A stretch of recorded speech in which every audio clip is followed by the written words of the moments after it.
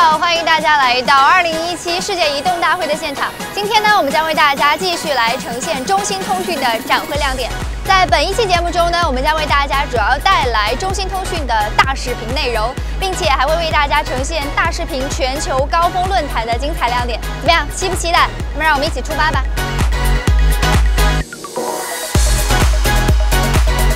在大视频全球高峰论坛上，国内外顶尖电信运营商、技术提供商及内容提供商等大视频产业链的重要成员，共同探讨了大视频领域的网络与运营转型，分享业务创新与实践。相信通过他们的努力，大家能够达成更加广泛的共识，进行更加紧密的合作，共同推动大视频产业的繁荣和发展。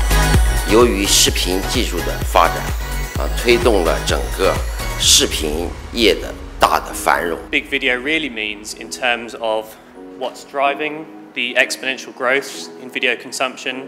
视频已经发展成为脱离其他业务的一种承载方式和运营模式。大视频这个发展，也是运营商做带宽、提速和升级的一个动力。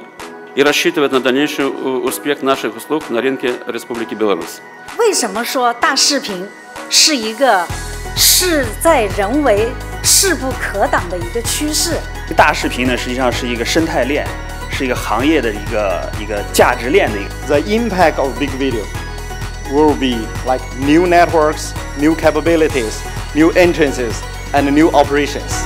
通过大视频全球高峰论坛，我们可以感受到中兴通讯对于大视频未来发展的理解和思考。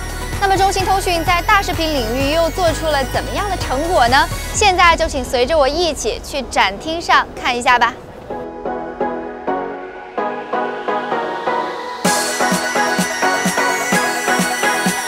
中兴通讯在本次展会的亮点令人目不暇接：大视频3.0解决方案、VR 直播极致体验、基于 RCS 的智慧家庭解决方案等等。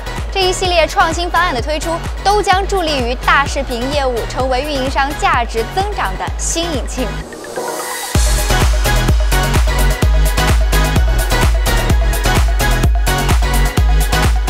视频领域的引领者，中兴通讯大视频将持续给用户带来更棒的视频体验，为运营商建设最佳的视频平台，并携手合作伙伴共建开放生态系统。